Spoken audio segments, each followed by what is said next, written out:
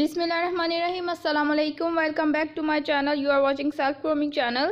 Don't forget to subscribe this channel. आज हम जिस टॉपिक पे बात कर रहे हैं, वो बहुत ही कॉमन टॉपिक है। जैसे कि आप देख रहे हैं वीडियो में लोशंस को बहुत से लोग ऐसे हैं मेरी तरह जिनको ये नहीं समझ आती कि हम कौन सा मॉइस्चराइज़र परचेज़ करें। आज मैं आपको बताऊँगी कौन सा मॉइस्चराइज़र विंटर सीज़न में बेस्ट रहता है और किस मॉइस्चराइज़र की क्या प्राइस है। ये वीडियो में आप देख रहे हैं जॉनसन्स का मॉइस्चराइज़र ये बेबी स्किन के लिए है। ये बेबी स्किन के लिए बहुत सूटेबल रहता है। इसके बाद आप देख रहे हैं जैजेंस का मॉइस्चराइज़र ये मॉइस्चराइज़र दुबई से आया था, इसलिए मैं आपको इसकी प्राइस तो नहीं मेंशन कर सकूँगी। लेकिन ये मॉइस्चराइज़र इतना अच्छा है कि क्रैक हील्स तक इससे ठीक हो जाती हैं। बाकी सब मॉइस्चराइज़र की प्राइस मैं डिस्क्रिप्शन बॉक्स में मेंशन कर दूँगी। आप वहाँ से देख लीजिएगा। कोई भी मॉइस्चराइज़र ऐसा नहीं है जो बहुत एक्सपेंसिव हो। अब आप देख रहे हैं वैसलिन का मॉइस्चराइज़र ये मॉइस्चराइज़र ऑलमोस्ट हर घर में मौजूद होता है। इस मॉइस्चराइज़र की बहुत सारी इकसाम अब मार्केट में अवेलेबल है, मेरे पास सिंपल में मौजूद है।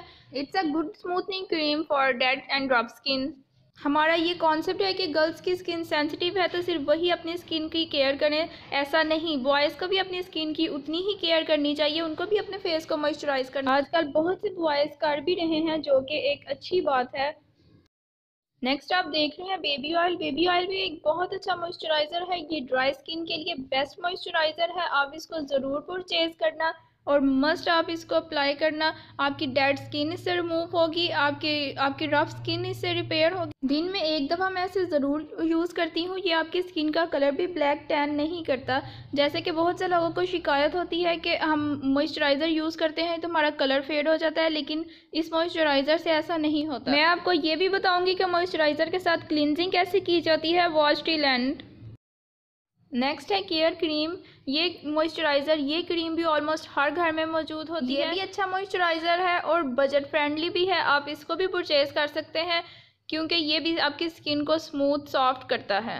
जितने मॉइस्चराइज़र आप वीडियो में देख रहे हैं मैं ये सब क्रीम्स मस्ट यूज़ करती हूँ स्पेशली विंटर सीज़न में तो लाजमी यूज़ की जाती हैं।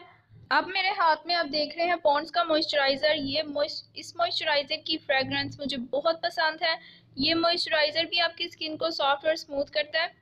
आफ्टर शावर अगर आप इसे यूज़ कर लें तो आपको परफ्यूम की ज़रूरत बिल्कुल भी नहीं रहती। इस पॉन्ड्स की मॉइस्चराइज़र की इतनी अच्छी फ्रेगरेंस है और मुझे बहुत पसंद है। ये मेरा one of the favourite moisturiser है। आप अपनी स्किन केयर रूटीन में ये चीज़ ऐड कर लें कि आपने जब भी हैंड्स फीट वॉश करने हैं, आपने मॉइस्चराइज उनको करना है। आपने जब भी शावर लेना है, आपने अपनी बॉडी को मॉइस्चराइज ज़रूर करना है। फिर देखें आप विंटर सीज़न हो या समर सीज़न हो, दोनों सीज़न एक जैसे रहेंगे। अब आप देख रहे हो लिविया का मॉइस्चराइज़र ये मॉइस्चराइज़र क्लिनज़र भी है। अगर आपके पास क्लिनजिंग मिल्क या क्लिनज़र मौजूद नहीं तो आप इसके साथ बहुत अच्छी क्लिनजिंग कर सकते हैं।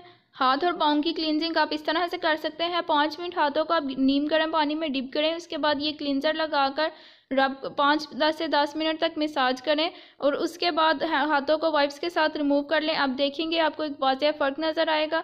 आप इस प्रोसेस को ट्विस्ट ऑफ़ वीक करें। आप देखेंगे कि आपके हैंड्स कितने सॉफ्ट और कितने स्मूथ रहते हैं विंटर सीज़न में भी। आपकी रफ और डेड स्किन नहीं होगी। Thank you for watching please subscribe share and comment अल्लाह हाफिज़। Remember mean your prayer